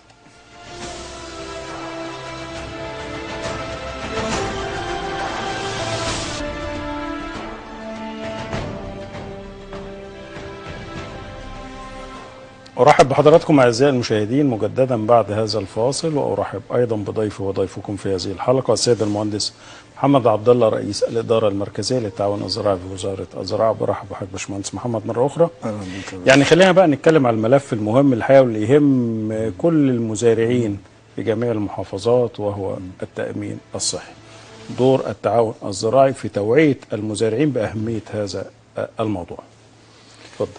آه، اولا اللي أنا بناشد من خلال شاشتكم الموقرة على جميع إخواننا المزارعين. التوجه لأقرب جمعية تعاونية زراعية لتسجيل اسمه والرقم القومي في التأمين الصحي. أنا كأخوكم حقيقة بقول لكم هذا المشروع ممتاز لخدمتكم. فعلا القيادة السياسية على عاتقها هذا الملف فارجوكم وإحنا حاليا فاتحين المرحلة الثانية. المرحلة الأولى تمت تم حصر 450 أو حوالي نص مليون. اولا المستهدف 2 مليون مزارع. تم حصر حوالي نص مليون مزارع. تم فقط؟ تس- ما أنا- تم تسليمهم لوزاره الصحة وتم مراجعتهم مع وزارة التنمية الإدارية. ومع التأمين الصحي طلعت الأسماء الصحيحة اللي تم اعتمادها 345 ألف. من نص مليون؟ من نص مليون. طب إزاي؟ طب الخطأ جه منين؟ تمام ما أنا هقول لسيادتك. في 70 في أخطاء في الرقم القومي أو في الاسم. طلبنا تعديلها وفي حاجة و40 دول أسماء غير الرقم غير الاسم. فدول استبعدناها.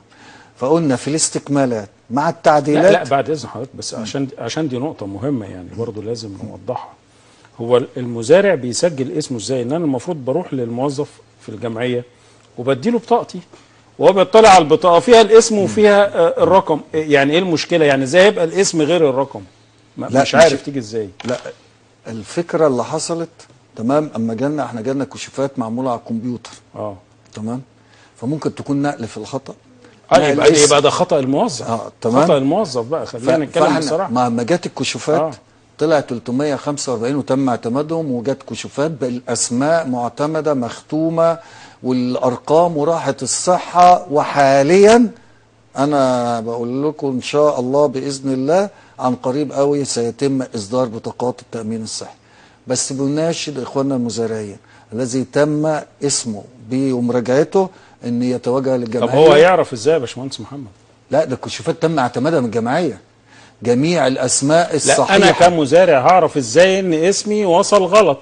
الموظف كتبه غلط هعرف إزاي؟ في الجمعية.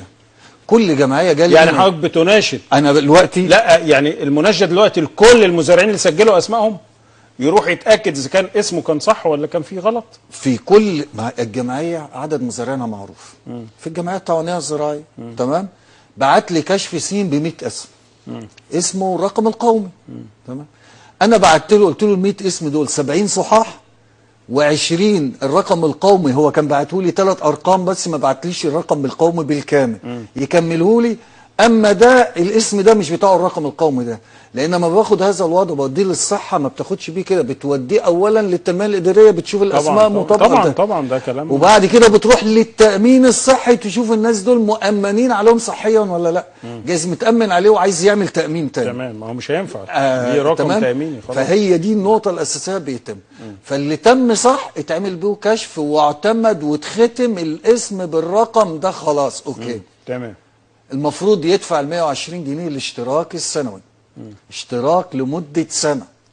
وسيحصل على جميع الخدمات الصحية من وزارة الصحة. دي تحت تعليمات قيادات وزارة الصحة. إن المزارع سيحصل على جميع الخدمات الصحية من وزارة الصحة. فعليه التوجه لدفع. وممكن هنا بقى أنا ما زال أقولها. ما زال سؤال يا باشمهندس محمد عشان دي نقطة مهمة جدا. هخش في هل. الجمعيات علقت كشوف بالناس اللي أساميها صح وخلاص اعتمدتها وزارة الصحة علشان يدفع ال 150 جنيه 120. وكشوف أخرى بال 120 وكشوف أخرى بالأسماء اللي فيها خطأ. أنا بعت وكان عندي اجتماع الأسبوع الماضي لمديرين التعاون تمام على مستوى الجمهورية تمام اللي هو اسمه كان فيه خطأ أو اللي عايز ما قدمش اسمه بنعمل المرحلة الثانية موجودة. لكن اللي اسمه طب وتم اعتماد الكشف من الجمعية وختم الجمعية واعتمد من وكيل الوزارة للعلم اتختمت ده وراحت وزارة الصحة. تمام؟ انه يدفع ال 120 جنيه. لكن يا يا اخوانا يا جمعيات ممكن ما تاخدوش من المزارع ال 120 جنيه. كل جمعية على حسب إمكانياتها المادية. ممكن تاخدهم منه على مرتين تاخدهم منه على ثلاثة تاخدهم منه على حسب ما يتراءى للجمعية تمام؟ وما إيه، ما نزيدش الكاهل على المزارع. لكن في النهاية المزارع يعني ممكن هيدفع ال 120 جنيه على اقساط على اقساط برضه ما زال سؤالي مطروح بعد إذن حضرتك وأنا متأكد إنه أهالينا المزارعين بيسألوا دلوقتي السؤال ده. أنا هعرف إزاي أنا كمزارع؟ يا اعرف إزاي إن اسمي خلاص أوكي مظبوط وتم اعتماده والمفروض أدفع ال 120 جنيه أو اسمي فيه خطأ؟ هل هيتم تعليق كشوف على الجمع في الجمعيات ب- ب- ب- بهذه الأسماء ولا إيه؟ أقولها يا باشا. من هنا أو من الشهر على جميع الجمعيات التعاونية الزراعية اللي راح لها كشف بالأسماء الصحيحة والأسماء القاطعة والاستكمال. تمام؟ أن تعلق هذه الكشوفات على. باب الجمعية عشان المزارع اللي تلاقي اسمه مطابق هيدفع الاشتراك تلاقي اسمه مش مطابق هيقول ليه؟ أصل الرقم يديله الرقم القومي بتاعه. هو ده الكلام. واللي ما سجلش يسجل اسمه. تمام. وأقول تاني عمال الزراعة عمال الزراعة. وليس عامل الزراعة اللي شغال في الغيط فقط. في إنتاج حيواني مزرعة إنتاج حيواني. ما إحنا عندنا الزراعة إما إنتاج نباتي أو- أو, إنتاج. حيواني. طبعا. طالما لا تظل مظلة تأمين صحي. طب نقطة تانية. امرأة معيلة. جوزها توفى وهي اللي بتشتغل في الأرض تروح تسجل اسمها. طب راجل وزوجته والاثنين بيشتغلوا في الأرض وإحنا قلنا الراجل عضو في الجمعية طب هو عايز يعمل تأمين صحي لزوجته تروح تسجل اسمها برقم القومي وتدفع الاشتراك ال 120 ويبقى ليها بطاقة خاصة بيها. ولها بطاقة خاصة بيها. لغاية ما طيب ربنا الأولاد يسهل يا باشمهندس. ما إحنا ما أنا هكمل اهو. تمام؟ لغاية ما ربنا يسهل نعرض ومجلس النواب بدل ما تبقى لشخص اصل القانون طالع للمزارع لعمال الزراعة تبقى بعد كده للأسرة.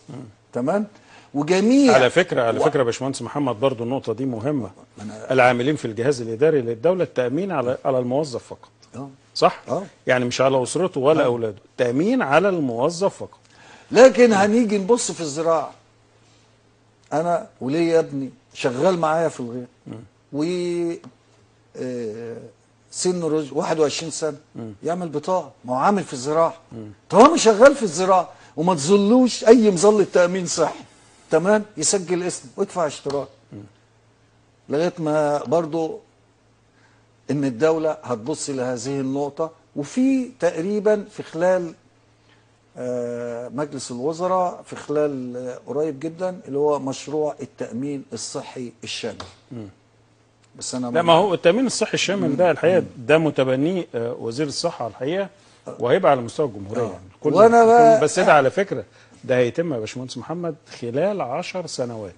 تطبيق منظومة التأمين الصحي الشامل على جميع مواطني مصر خلال عشر سنوات بس هيبدأ يعني من دلوقتي وفي بعض المحافظات بالتدريج كده لكن هيشمل جمهورية كلها في غضون العشر سنين. فأنا بناشد إخواننا المزارعين. من لم يتم تسجيل اسمه في نظام التأمين الصحي وللعلم تم معالي الوزير وافق على فتح حساب لهذه الاشتراكات بالإدارة المركزية للتعاون الزراعي بالبنك الرئيسي للتنمية والائتمان الزراعي واتفتح الحساب فعلا. وإحنا قلنا جميع الاشتراكات ونسبة الواحد ونص من أرباح الجمعيات التعاونية الزراعية يتم تجميعها في حساب خاص في الجمعية المركزية وهي اللي بتقوم بإرسال شيك مجمع باسم مش الإدارة المركزية اشتراكات التأمين الصحي على الفلاحين. وهذا الشيك يكون مسحوب على بنك التنمية. عشان تم الاتفاق مع رئيس مجلس إدارة بنك التنمية الأستاذ عطية عطية سالم. سالم. تمام؟ إن أي شيكات تيجي مسحوبة على بنك التنمية لم يتم خصم أي رسوم في تحصيلها.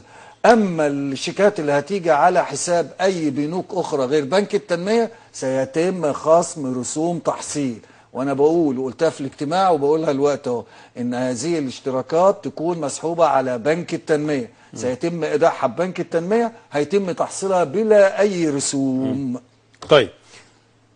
يا باشمهندس محمد أنا مزارع رحت الجمعية لقيت اسمي ضمن الكشوف آه، التي تم اعتمادها. ورحت دافع ال 120 جنيه. أستلم البطاقة الصحية بتاعتي إمتى؟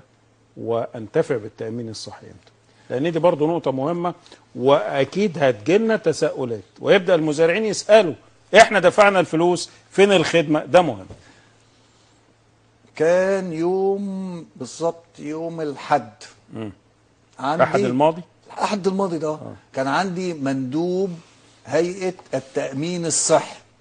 بياخد جميع الأعداد معتمدة تمام؟ على أساس إن هو يقول لكل محافظة هيكون طبع البطايق بتاعتها قد إيه. ده كان يوم الحد. تمام؟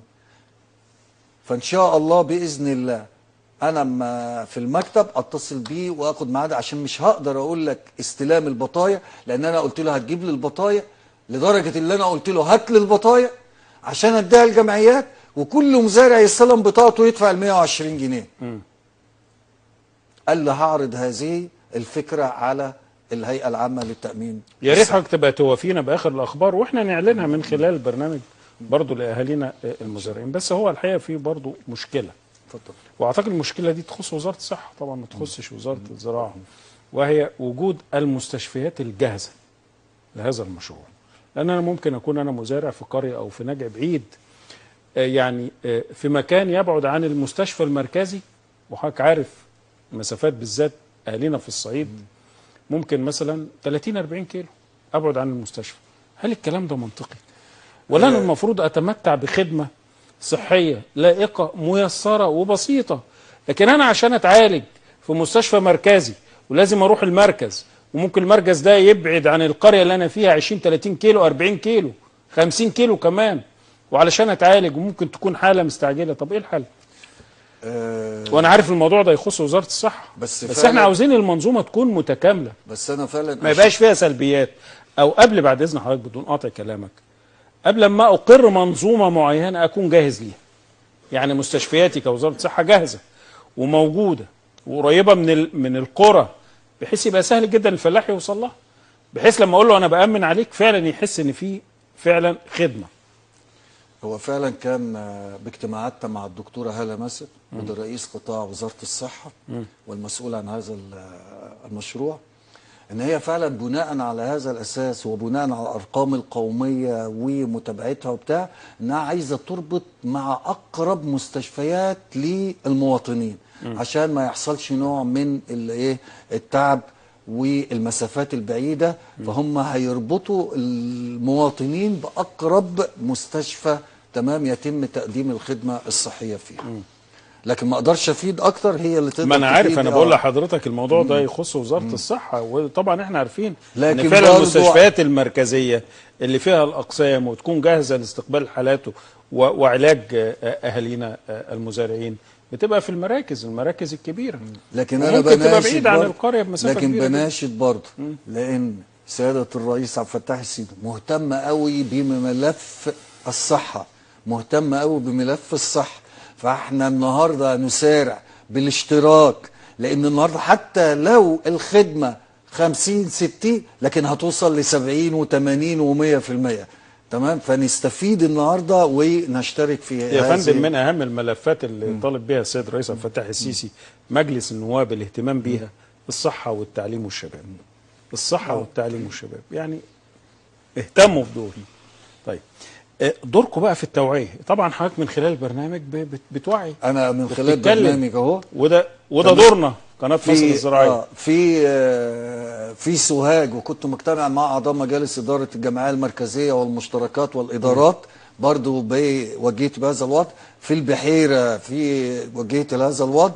في اجتماعاتي مع السادة مديرين التعاون لعمل ندوات ودورات تدريبية لإرشاد الناس بهذا الوضع وفائدة هذا المشروع. للجمعيات المركزية اللي عندها بند التدريب بتوعية أعضائها ومزارعينها للاهتمام بهذا الوضع. كمان وعينا إن ال- الم- المديرين التعاون إن يساعدوا الجمعيات إن هو يتم التوعية والنشر عن طريق المساجد النوادي الكنائس تمام؟ ويتم إيه؟ مراكز الشباب الوحدات الصحية كل. الأماكن. لأن هذا لمصلحة المزارع لمصلحة المزارع وأنا بناشدهم من خلال هذه الشاشة الموقرة. تمام؟ الإسراع بتسجيل أساميهم في هذا المشروع. طيب آه، مفيش آه، فكرة يا باشمهندس محمد إنه الإرشاد الزراعي يعني يدخل معاكم في التوعية بالنسبة لهذا الموضوع؟ يعني يبقى في تعاون بينكم وبين الإرشاد الزراعي. لأن حضرتك عارف الإرشاد الزراعي بيعمل ندوات مختلفة. يا دكتور حمد إحنا إدارة مركزية تعاون إدارة مركزية للإرشاد إيه إدارة مركزية ايا كان كلنا أساسا لخدمة المزارع. تمام؟ وطالما المزارع دي من ضمن الخدمات اللي إحنا بنقضيها له فاما الإرشاد برضه يوعي المزارعين للاشتراك في منظومة التأمين الصحي فدي برضه لخدمه المزارع تمام. أنا هضيف لحضرتك حاجة مهمة وحضرتك برضو أعتقد ممكن تأيدني فيها. الحملات القومية للمحاصيل المختلفه وعلى سبيل المثال الحملة القومية للنهوض بمحصول القمح اللي إحنا اللي ده وقته. وطبعا إحنا اتكلمنا عن ملف القمح والقراء يعني يعني آه، آه، كان موضوع مهم جدا. الحملات القومية تتبنى هذا الكلام لأن إحنا حضرتك يعني عارف إنه كحملات قومية بنقعد مع المزارعين في مختلف المحافظات. برضه يبقى في تعليمات للحملات القومية إنه يا جماعة وعوا المزارعين بموضوع التأمين الصحي. إيه رأي حضرتك؟ ده أنا ده أنا موافق على. كده. ده ده دي كويس. ده أنا عايز لا ده أنا عاوز بقى أنا عاوز بعد إذن حضرتك كتابة عشان يبقى كلام موثق.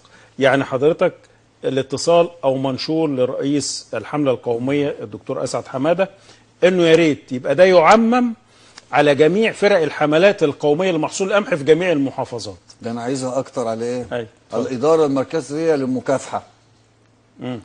تمام إن هي ما هو إحنا ما هو إحنا عشان المبيدات الحمله القومية بتقعد مع آه، مع المكافحة ومع الإرشاد ومع؟ كل ده. وعشان إيه بتوع المبيدات ويحافظوا على صحة الإيه المزارعين ويناشد المزارعين بهذا الوضع. يعني برضو نفس الوضع بنفس الإيه يعني. حضرتك ممكن يبقى في اتصال بين حضرتك وبين الدكتور أسعد. حمادة رئيس الحملة القومية. يبقى منشور رسمي. إن شاء الله بعت من. حضرتك لأهمية هذا الموضوع. لأن إحنا عاوزين الموضوع ده فعلا زي ما حضرتك قلت القيادة السياسية بتنادي بيه ومهتمة بيه. بس عن طريق إحنا نتحرك. بس عن طريق حضراتكم المزارع يستجيب أكتر. ما فيش شك إحنا بنتكلم. المزارع لما بيجي عن طريق جهه اداريه بيحس إن الحكومة دي لكن الإعلام اللي هو صوته اللي هو بيدور على مصالحه اللي هو بيهدف أساسا لخدمته أما هتيجي منه هتكون أساسا. تمام؟ هيستجيب لهذا الوضع. فبستأذنكم كده تمام سرعة إيه؟ آه ذهاب المزارعين وتسجيل اساميهم على في كشوف في ممكن ديت إن شاء الله تبقى على. شريط الأخبار. آه، يعني ناخد بإذن رأي إدارة القناة في هذا الموضوع آه. لأن إحنا إحنا قناة مصر. الزراعية إحنا هدفنا خدمة المزارع. إحنا ملناش يعني إيه، إنتوا همنا الأول والأخير. يعني وده دورنا من أجلكم من أجل مصلحة هذا الوطن. آه يعني في تصورك ممكن إمتى يتم تنفيذ؟ هذا المشروع. لا خلاص مش هيمتي تنفيذ. إحنا دلوقتي بقى خلاص في عملية استخراج يعني البطاقات البطاقة. است- الصحية دي هي حضرتك هتستلمها إمتى؟ أو لا إمتى؟ إيه؟ ما أنا قلت لحضرتك آه. أنا هي هيتم الاتصال بالهيئة العامة للتأمين الصحي لأن أخذ مني البيان النهائي بتوع ال 345 أنا بناشد إخواننا المزارعين اللي ما سجلش سجل في المرحلة الثانية. لكن ال 345 ألف ودول على مستوى المحافظات كلها. تمام؟ دول مرحلة أولى وهيتم عمل بطاقات ليهم فعلا. وبيتم عمل بطاقات ليهم فعلا. وأنا هيتم الاتصال فعلا وهتصل بحضرتك وهعرفك البطاقة هتطلع إمتى وهبلغ حضرتك تمام. وإحنا فعلا نبلغ أهالينا آه،. المزارعين مفيش شك يا باشمهندس محمد الحقيقة حلقة كلها إيجابيات وكلها أخبار مبشره وأخبار ساره لكن خليني بقى أتكلم يعني كحضرتك مسؤول عن الإدارة المركزية للتعاون الزراعي. إيه السلبيات اللي حضرتك شايفها؟ وإزاي تتعالج؟ وطبعا من خلال آه، يعني خبرة سيادتك الطويلة ومن خلال مرورك على الجمعيات المختلفة في جميع المحافظات.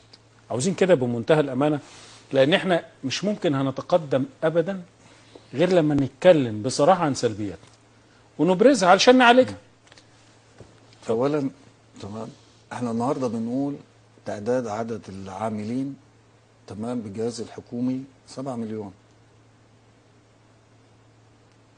طب أنا كما كنت موظف سنة 81 النهارده 2016 بقى لي 35 سنة كانت الهيئة العامة للتعاون الزراعي دي ما شاء الله مش فاكر العدد كام.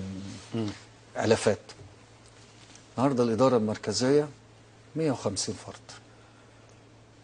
المفروض ال 150 فرد.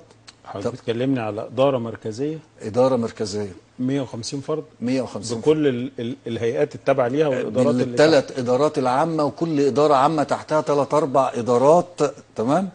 عايزين نمر بهذا العدد تمام؟ على ال 27 محافظة تمام؟ في متابعات إذا كان قانون جمعيات ثروة حيوانية جمعيات محاصيل متابعة مالية تعاونية كذا على هذا الوضع. لكن بنقوم. أنا كان عندي لجان بتتم وراحت حوالي ست محافظات لعمل ششن على كشوف الحصر بغض النظر إيه إذا كان الموضوع اللي هو حصر ششن حصر لأن أنا برضه بنراجع اللي بيقوموا بعملية الحصر الفعلي للزراعه لأن أنا عايز أعرف كام برضه آه، آه، مساحة القمح اللي اتزرعت قد إيه وعايز أتأكد من الحصر ده. فنزلت وبتعمل متابعات للمحافظات لمتابعة الجمعيات. تمام؟ ما اقولش طبعا بقى على أساس القرار السابق. مم. آه بس بس ده شغل برضه. أنا بغض النظر ده شغل. إن أنا لازم إحنا نزلنا عملنا متابعات على متضرري السيول. تمام؟ ده دوركم أيضا لازم أروح. ما هو بيتم. وأروح أشوف ده فلان الفلاني اللي اسمه كذا اللي حيازته كذا اللي تم في الحصر إن هو مساحته اللي اتضررت كذا. طب هو في سجل اتنين خدمات مساحته قد إيه؟ لازم أراجع ده كله.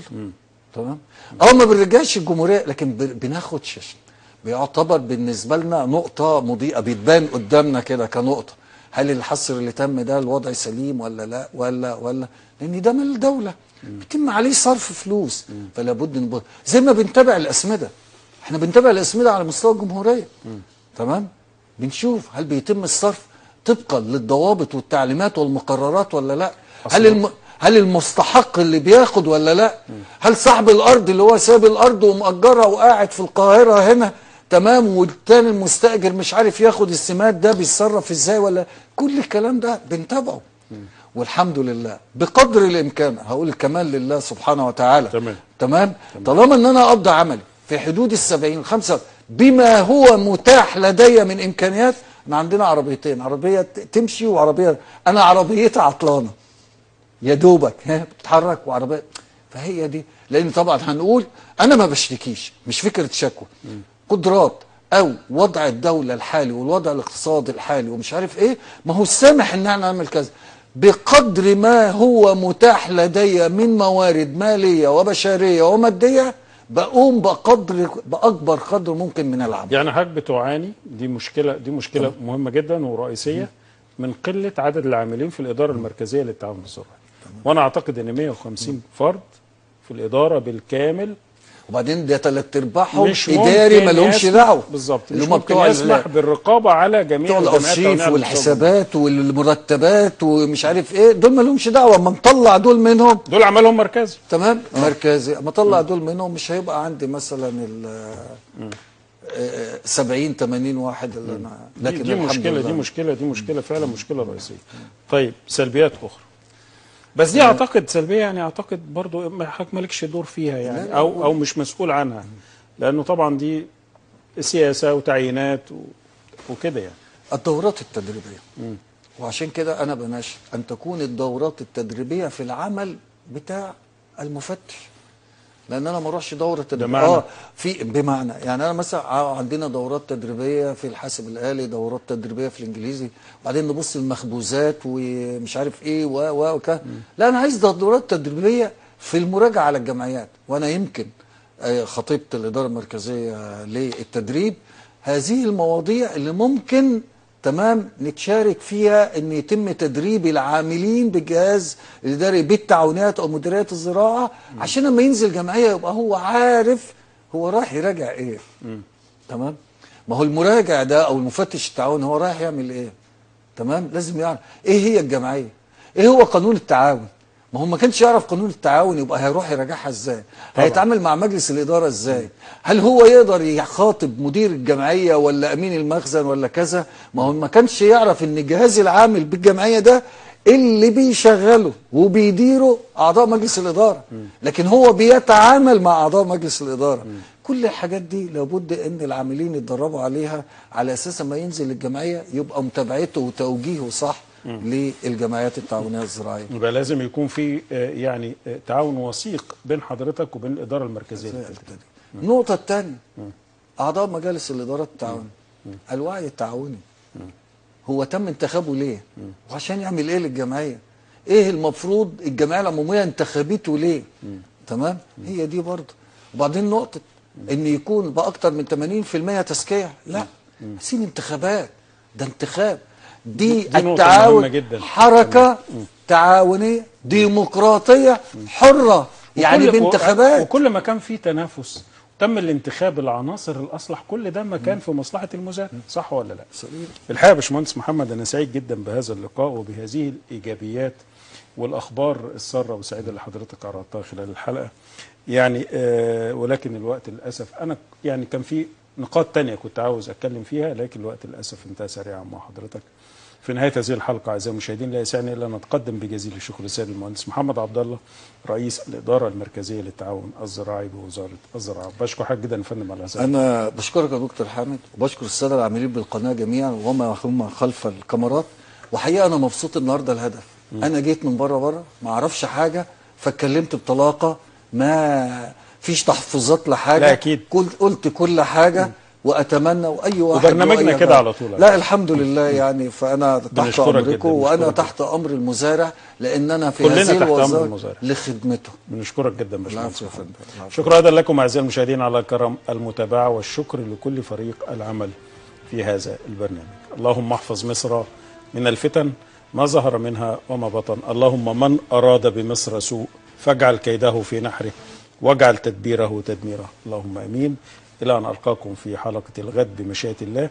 لكم مني حامد عبد الدايم أطيب المنى والسلام عليكم ورحمة الله وبركاته.